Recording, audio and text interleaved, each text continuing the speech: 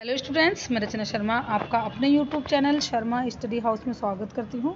बच्चों, आज हम आपकी सिक्स क्लास की जो एसएसटी की वर्कशीट है, सामाजिक विज्ञान की, जो भूगोल से है, उसे आज हम करने वाले हैं। जी आपका कार्यपत्र यानी कि वर्कशीट नंबर तीस है, जो कि एक फरवरी की वर्कशीट है।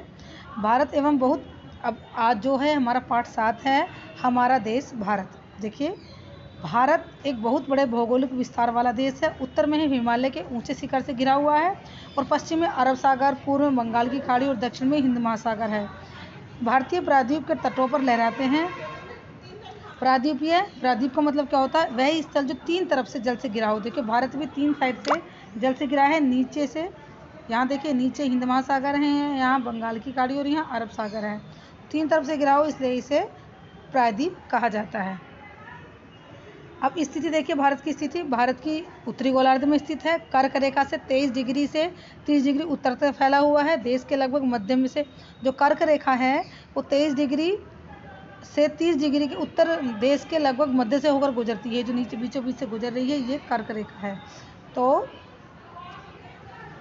दक्षिण में उत्तर की ओर भारत का मुख्य भूमि का विस्तार आठ से चार उत्तर और सैंतीस से छः उत्तर अक्षांशों के बीच फैला हुआ है। पश्चिम से लेकर पूर्व तक भारत का विस्तार अड़सठ डिग्री से सात, अड़सठ डिग्री सात से पूर्व, नाइन्टी सत्तानवे डिग्री और पच्चीस पूर्व देशांतरों के बीच है। बयासी डिग्री और से तीस बयासी और तीस से पूर्व देशांतर स्थानीय समय को भारत के मानक रेखा के रूप में लिया जाता है।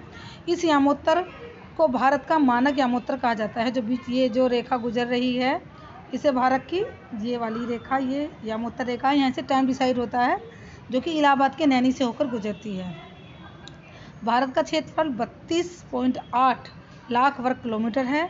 भारत में कश्मीर से लेकर दक्षिण में कन्याकुमारी तक विस्तार लगभग बत्तीस सौ किलोमीटर है। यहाँ से यहाँ तक इसका बत्तीस सौ किलोमीटर तीन हज़ार दो सौ किलोमीटर है। और पूर्व में अरुणाचल से लेकर कच्छ तक इसका विस्तार यहाँ से उनतीस हज़ार किलोमीटर तक है। तो ये भारत की स्थिति बताई है और भारत के बारे में बताया गया है। अब इसके क्वेश्चन आंसर कर लेते हैं।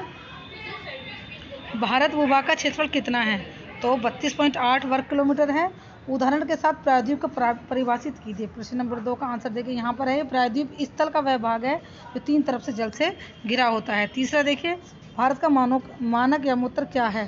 तो बयासी डिग्री थर्ड बयासी डिग्री तीस पूर्वी देशांतर। देखिए, यहाँ पर आप इसे यहाँ से ले सकते हैं। प्रश्न नंबर वन को माना कि भारत का क्षेत्रफल बत्तीस पॉइंट आठ लाख पर किलोमीटर है और देखिए, तीसरा है आपका ये जो ब्लू पेन से लिखा हुआ है, पर्पल पेन से इसको आप थर्ड का आंसर कर लेंगे। तो आपकी वर्कशीट आज की कंप्लीट होती है और सारे आंसर देखिए, इसी में छुपे हैं। आपको बस थोड़ा सा ध्यान देने की ज़रूरत है। Thank you.